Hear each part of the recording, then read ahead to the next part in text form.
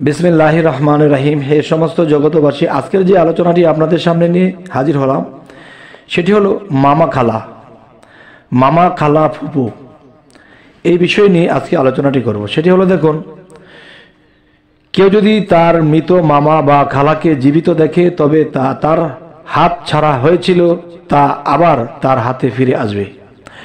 অবশ্যই কথাটি আবার খেয়াল করবেন যে, কেউ যদি তার মৃত মামা বা খালাকে জীবিত স্বপ্নে দেখতেছে। তবে তা তার হাতে যেই ধন বা যেই জিনিসগুলো এসেছিল, তা হাতছাড়া হয়ে গেছিল সেগুলো আবার হাতে ফিরে পারবে তো অবশ্যই আমাদের এই আলোচনাটি একটু মন দিয়ে শুনবেন। দেখুন, কেউ যদি কোনো মৃত জিন্দা করতে দেখে, তবে তার হতে কোনো কাফির মুসলমান হবে, অথবা কোনো পাপি তবা করবে। সোমান আল্লাহ কথাটি আবার বলছি, কেউ যদি কোনো মৃত ব্যক্তিকে জিন্দা করতে দেখে, তবে তার হাতে কোনো কাফির মুসলমান হবে অথবা কোনো পাপি তওবা করবে, আল্লাহর পথে প্রতীক হবে, সত্যবাদী হবে। আচ্ছা এবার আসি, কেউ যদি তার এলাকার কিছু পরিচিতা মৃত মহিলাকে সেজে গুজে জীবিত হয়ে উঠতে দেখে, তবে ওই মহিলাদের সাজসজ্জা, বেশভূষা হিসেবে স্বপ্নদ্রষ্ট স্বপ্নদ্রষ্ট এবং উক্ত মহিলাদের নিকটাত্মীয়দের কাজকর্ম বা আশা, আকাঙ্ক্ষা পূর্ণ হবে। অবশ্যই এ কথাটি আমাদের আরেকবার বুঝতে হবে। সেটি হলো, কেউ যদি তার এলাকার কিছু অপরিচিতা মৃত মহিলাকে সেজেগুজে জীবিত হয়ে উঠছে, দেখছে, এই বিষয়টি স্বপ্নে আচ্ছা তবে ওই মহিলাদের সাজসজ্জা বেশভূষণ হিসেবে স্বপ্নদ্রষ্টা এবং উক্ত মহিলাদের নিকট আত্মীয়দের কাজকর্ম বা আশা আকাঙ্ক্ষা পূরণ হয়ে যাবে সোহান আল্লাহ এবার আসি হে সমস্ত জগতবাসী যদি মহিলাদের জামা কাপড় সাদা দেখে, তবে ধর্মীয় বিষয়ে আশা আকাঙ্ক্ষা পূরণ হবে। আর যদি লাল দেখে, তবে খেল, খুশি বা খেলা, তামাশা জাতীয় আশা, আকাঙ্ক্ষা পূরণ হবে। আর যদি কালো দেখে, তবে গান, বাজনা জাতীয় আশা পূরণ হবে। আর যদি পুরাতন ছেঁড়া ফাটা দেখে, তবে দরিদ্রতা ও চিন্তা ফিকিরে লিপ্ত হবে। আর যদি ময়লাযুক্ত দেখে, তবে পাপে লিপ্ত হবে। হে সমস্ত জগতবাসী অবশ্যই এই কথাটি খুবই গুরুত্বপূর্ণ। আমরা আবার শুনব। সেটি হলো যদি মহিলাদের জামা কাপড় সাদা দেখে কেউ স্বপ্নে, তবে ধর্মীয় বিষয়ে আশা আকাঙ্ক্ষা পূর্ণ হবে। আর যদি লাল দেখে, তবে খেয়াল, খুশি, তামাশা জাতীয় আশা আকাঙ্ক্ষা পূর্ণ হবে।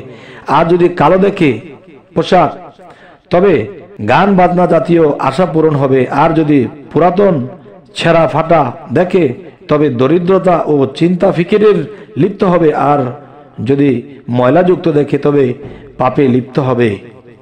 আচ্ছা তাহলে এই জিনিসগুলো স্বপ্ন দেখলে আমরা যদি দেখি আমার স্বপ্নে আমার শরীরের জামা কাপড় ময়লাযুক্ত হয়ে আছে, তখনই বুঝব যে আমার দেহের ভিতরে যে আত্মা সে আত্মাটা পাপিষ্ট হচ্ছে। নিশ্চয়ই আমি কোনো পাপ কাজে দাবিত হচ্ছি, তাই সেখান থেকে আমাদের নিরাপদ হতে হবে।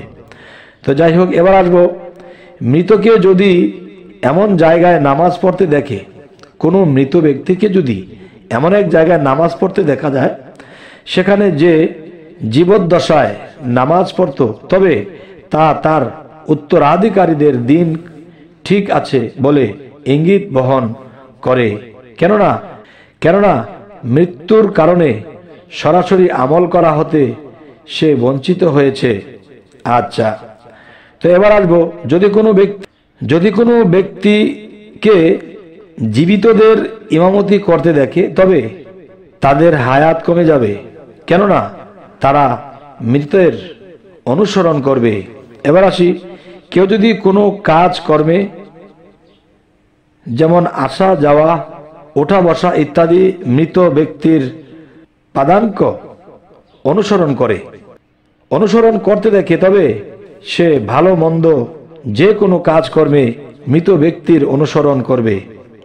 আচ্ছা তো এবার আসি।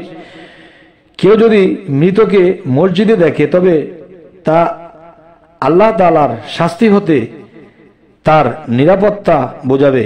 কেননা, মসজিদ নিরাপত্তার জায়গা। এবার আসি।